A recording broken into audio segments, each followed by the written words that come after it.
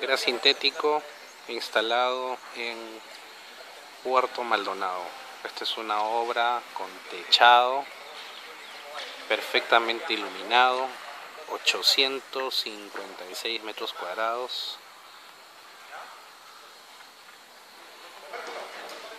Gras 14.000 de tex bicolor con sistema frío.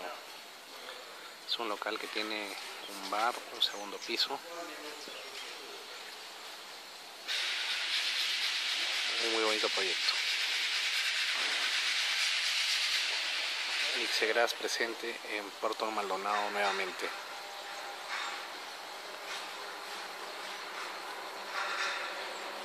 Y hasta otra oportunidad.